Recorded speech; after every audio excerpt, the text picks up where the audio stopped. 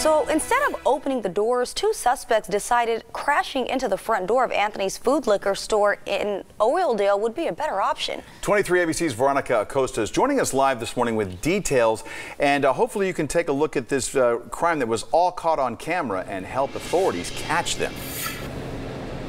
Mike Faven, that surveillance video is pretty shocking. Now, like you said, Faven, instead of opening the doors, they just decided to crash into these two doors. They backed up their car, and now there's some shelves broken inside that you can still see. But I want to get to that surveillance video where you can see this car just completely back up into these doors. You see these two guys hop out of that car. They hop behind the register. One of those guys starts grabbing cigarettes.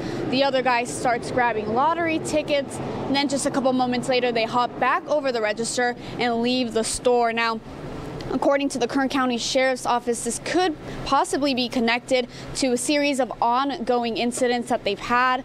And uh, that car that those two suspects rammed into the store behind me was actually a stolen car. Now, Mike Faven, that's all we have for you now. I'm going to go ahead and send it back to you in the studio.